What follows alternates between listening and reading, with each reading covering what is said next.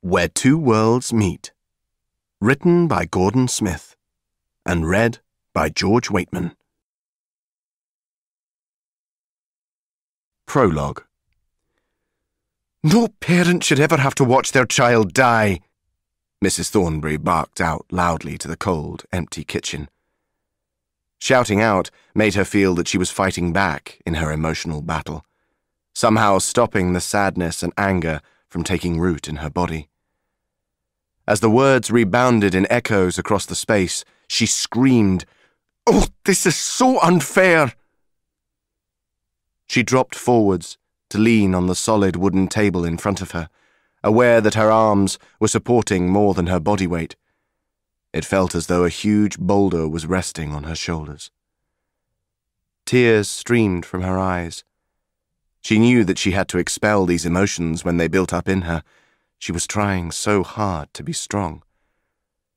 Someone has to be strong in all of this, she said, in a more sedate tone, to the empty fireplace on the other side of the room. She stood up straight and threw back her head, pushed away some long strands of wiry grey hair that had come loose from the stack bundled on the top of her head, and went to the back door. She needed to breathe in some fresh country air to remind herself of why she was here. Emerging from the narrow, dark wooden porch, she straightened her body to its full height, wiped her eyes with the back of her hands, and breathed in the warm, clear air from the endless space all about her. She knew the importance of letting go of these painful emotions, but she had to be strong to help her daughter and her family just now. After all, they were the ones who needed support. It was they who had lost a child, her granddaughter, Amber, who had recently died of cancer. She had to prepare this old cottage for them. Taking in her surroundings, from the run-down garden to the green expanse that stretched before her, she stopped thinking altogether for a moment and stood completely still, at one with this country paradise. For so much of her young life, it had been a safe haven, a place where she had found healing and tranquility, a place that was now filled with magical memories. This was why she was bringing her family here to find peace and to fix their broken lives after the terrible tragedy they had just been through. The remaining child, her grandson, came into her mind. Dill was so young, only ten years old. He needed to be cared for and given an understanding of what was really going on. Grief had taken his parents from him. Her hope was that this magical place would be the key to their return she had total control of her emotions now, and a newfound strength began to enter her body, moving up through her feet as if the ground itself was charging her with energy. It felt as though a burst of strength and compassion had entered her being, and she knew that these were just two of the elements she required for the work that lay ahead of her. She wanted to stay here longer and allow all the good memories of her own childhood to flood back into her mind, but she fought against it. She was aware of how powerful this place was, but it wasn't for her this time. No, everything it could give would be for her daughter and son-in-law. They had so much emotional weight to bear in the past few years. Turning her head slowly, she took one final look around the landscape taking in the most obvious sight, which was a large hill with tall trees on the top, reaching up to the blue sky. For a moment, she seemed to be looking at something happening in the space above it, and a smile broke over her face. She thought of her grandson, half shut her eyes, and made a wish. She wished that he would be touched by the same magic as she had been when she was growing up in this beautiful place. Then she disappeared back through the small wooden porch and into the old cottage. It was time. Something had begun. Chapter 1 A Dark Time Dill was standing in the overgrown garden at the back of his new home. The garden was as wild as the countryside that surrounded it. In fact, other than a small stone wall, which was half buried under moss, ivy, and ferns, there was no real way to distinguish where the garden ended and the vast expanse of wild scenery began. It was a chilly October day, and he was thinking about his sister, who had died the previous summer, and wondering where she was now. Did a part of her still exist somewhere? And if so, where? Darkness had entered his life since she left. No, it came before, didn't it? He blushed with embarrassment as he realized he'd spoken out loud to himself again. He wasn't exactly sure when this had started, but he was certain that it had only been since he'd come to the new house. That was a week ago now, but the darkness had been there before. He called it that because it made him scared at night when he was alone in his room. But that was in the old place, wasn't it? He'd done it again. Or had he? Something strange was definitely happening to him. His mind was pulled back to the bad dreams he'd had in his old house and how alone he'd felt. He felt the same now, even when his mum and dad were with him. It seemed so long since they'd all laughed together. His parents had been sad even before Amber had passed away, and Dill had felt it whenever he'd been with them.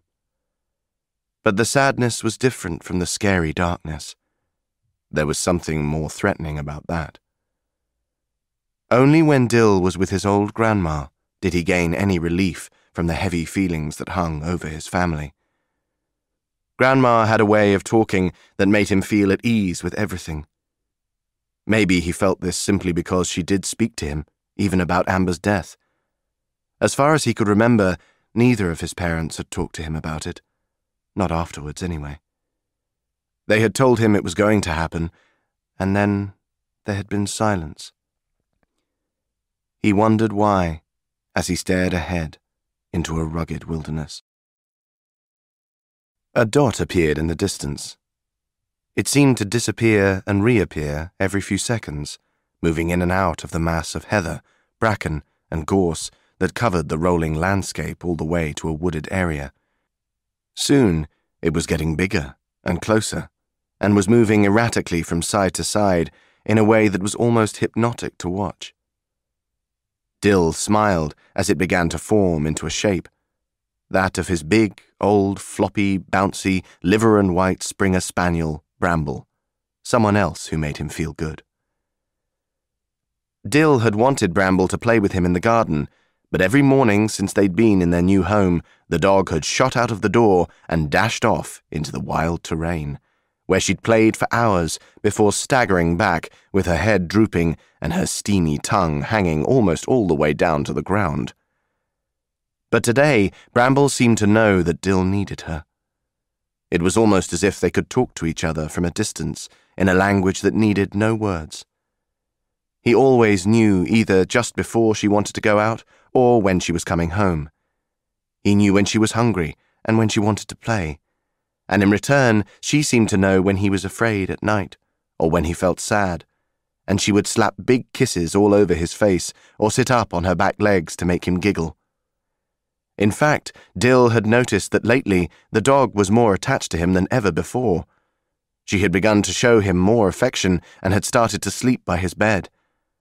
When his parents had gone to bed, she would even get into bed with him and snuggle tightly into his body until he fell asleep to the gentle rhythm of her breathing. It was as if she was standing guard for him, making sure that no scary darkness could enter his room. He turned to look at the house for a moment and noticed that even though the sun was shining all around it on this crisp autumn morning, it seemed to be covered by a cloud. It reminded him that inside the cottage, everything was dark. Even his parents seemed to be covered in a dusty grey powder. It had begun to form around them just before his sister had gone into hospital for the last time. Is that when the darkness came? He said to himself in a low whisper that turned to vapour as it left his lips and was picked up and carried off by the cool breeze. He wanted to think more about this, but his attention was caught by Bramble, who was making high pitched yelping sounds and tearing off in a new direction, as if on the trail of an animal or bird. Dill knew this sound, and it made him laugh. He could tell exactly what his dog was feeling at this moment, and she was very happy. Another thing he'd noticed about her was that she was the only one in the house who had light around her. Ever since Dill could remember, he'd seen light around people and animals, and Bramble was always shining brightly, even when his parents were very dark and sad. Since they had come to their new home, this had become even more apparent. The dog disappeared from his sight now, and his mind dropped back into memories of when his parents had told him that his sister had gone to heaven. They had told him that she was with his grandpa, and she was very happy there, and she was in a beautiful place of light, with angels and God. They'd made it sound amazing, but it didn't add up, Dill reckoned, because they'd still looked as though they were in pain. And it seemed as if she'd taken some of their light with her. He wondered if she'd had to use it to get into heaven. Maybe she'd send it back somehow. He really hoped that the light would come back to his parents, because even though they didn't speak much these days, he could tell what they were thinking and feeling in the same way as he could with the dog.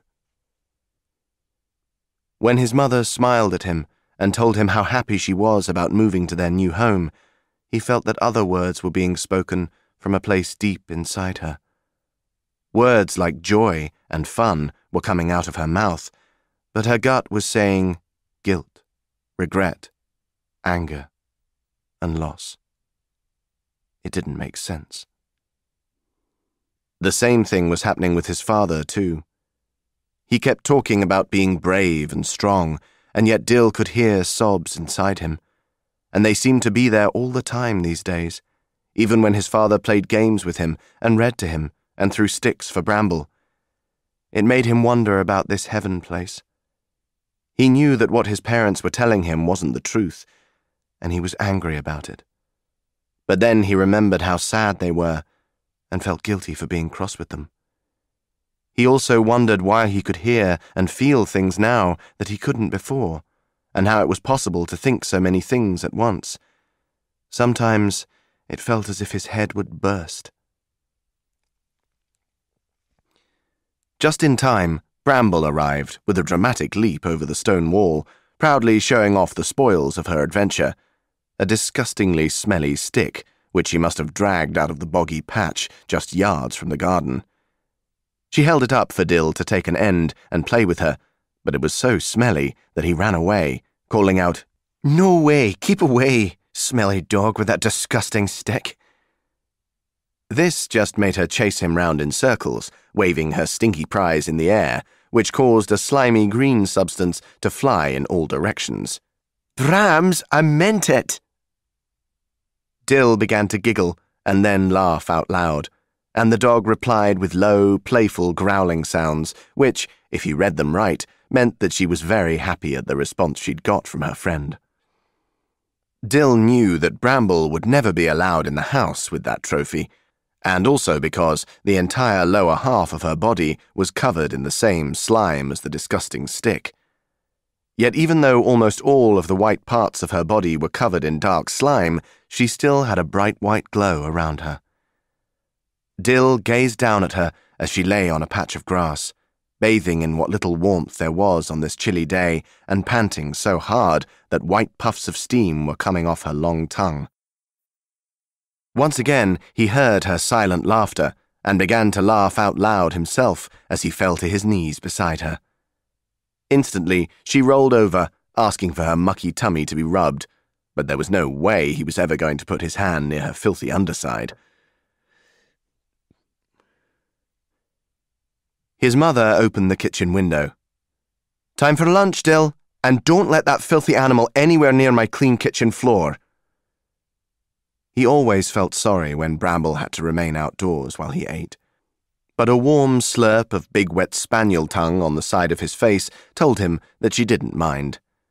Besides, she had lots of work to do, pulling her scabby old stick to pieces. The kitchen seemed dark, and a heaviness filled the room in spite of the warm fire that was burning in the fireplace. Dill loved the open fires in this new house, and the sound of wood crackling always made him feel at peace. Lunch was on the big wooden table, which meant that he had to sit on a cushion on a heavy wooden chair to reach it.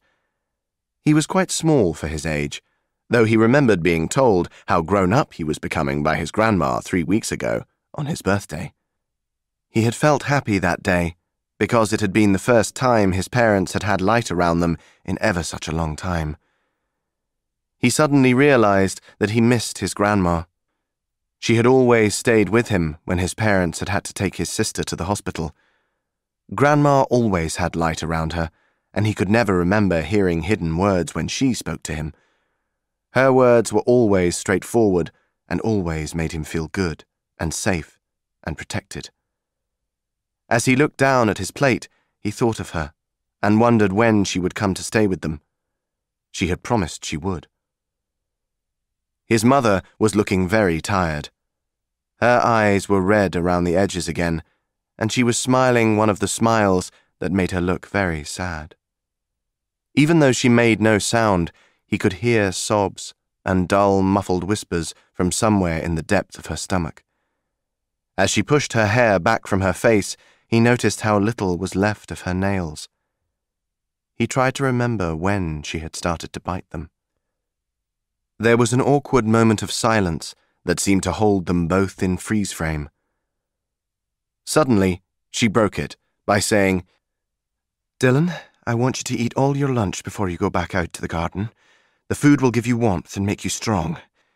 It's getting cold outside, too, and I want you to wrap up. Oh, and don't let that dog jump up on you. She is filthy and will have to be bathed before she comes indoors.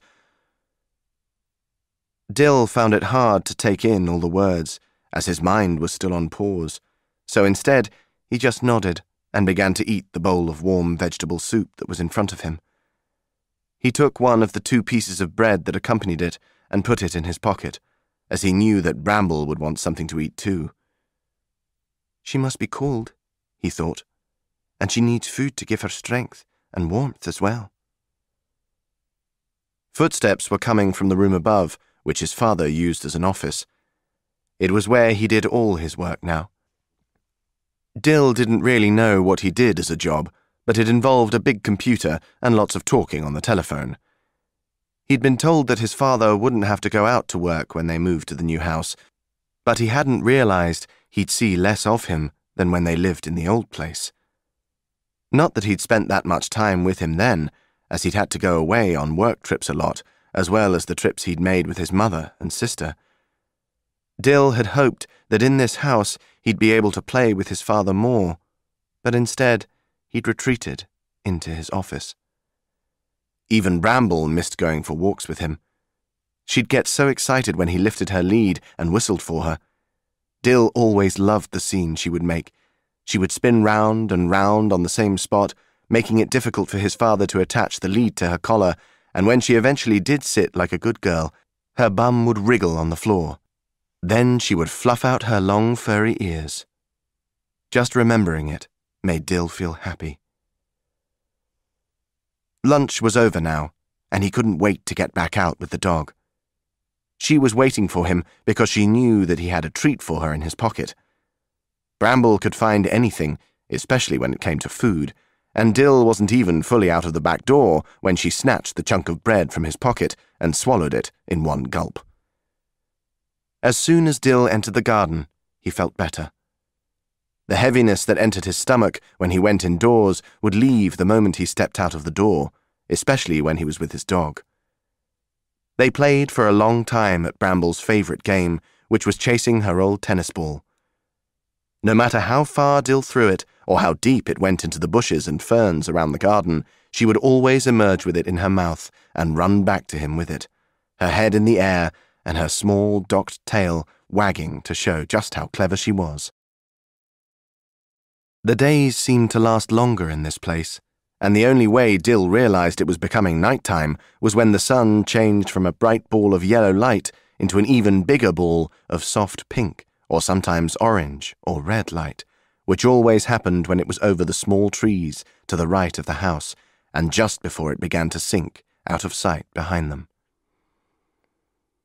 In the daytime, it seemed to sit on the highest hill in sight, the one that had all the trees at the top of it, which lay to the left of the back garden. Dill liked looking at that hill, and even more so when it seemed as though the sun was touching the very high tree at the top of it.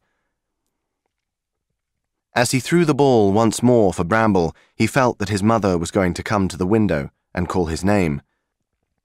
A second later, it happened. He was getting good at sensing things, he decided. He could even hear his father coming downstairs, although he should have been too far away from the house to hear his footsteps. He also knew that something was being said about his father going away on a trip again. Bramble could sense something also.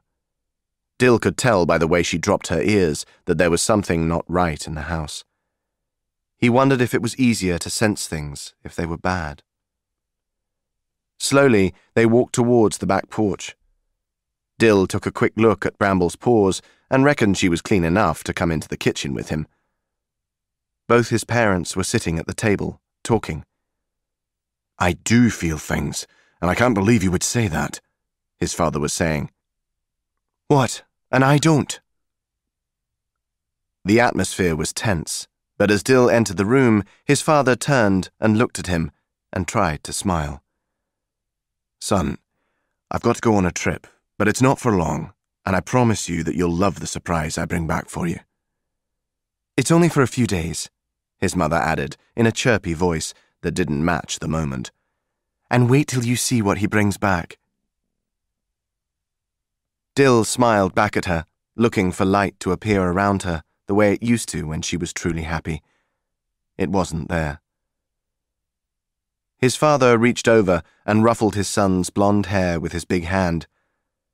Be a good boy and look after your mother while I'm away, he said, and I promise I'll have much more time to play with you when I get back. He reached out his other hand in the direction of the dog and invited her to jump up onto his lap, which she did without hesitation.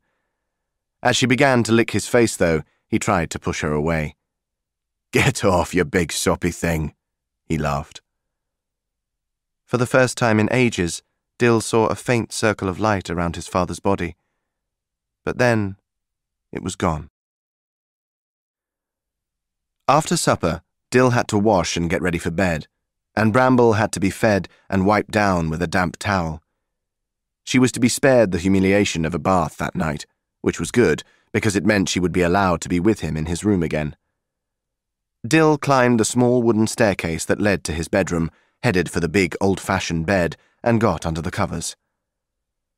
The room was still full of unopened boxes with stuff from his old house, so there wasn't much room for him to play there yet, but he did like the room, even though the walls were covered with old flowery wallpaper, which made it look like his grandma's bedroom, and there were no curtains on the windows yet. But that was good too, because he loved this time of night, when he could still see for miles in the fading light. Every night, he would see animals and large birds moving around outside, and he especially loved to watch a family of rabbits who would come into the garden beneath his window. They would bounce around and then stop and drop their ears down onto their backs, and it made him laugh when their noses moved up and down. He always thought that they were talking to one another when they did that. Sometimes he even thought he could hear them speaking inside his head. Maybe he could, in the same way that he did with the dog. There was always a special feeling that touched him in this twilight time before sleep. His world felt empty for a moment, empty of all feeling. Bramble bounced up the stairs and came into the room. She pushed her brown and white nose towards Dill's face and kissed him on the cheek, the way she always did, then walked around in circles for a moment, the way she always did, before collapsing in a heap on the floor and letting out a loud sigh. Dill sighed with her. It was as if their breathing had synchronized. He was becoming tired now, and his body and mind relaxed as he looked out of the window towards the little hills that went up and down all the way to the large hill with the crown of trees and the tall tree in the middle, the one that resembled a hand reaching up to hold the sun by day and now the moon by night. He tried to count the trees, but he couldn't have got past six or seven before he'd fallen into a deep sleep. Bramble leaped onto the bed beside him, dropped like a sack, and let out one more loud sigh, as if she knew it was okay for her to sleep now that her best friend was at peace for another night. There was a light around the animal, and it appeared to expand and encompass the boy, as if it was holding him in a protective membrane. The dog finally followed the boy into peaceful sleep at the same time as the small bedroom window turned black, hiding the rugged world they now lived in.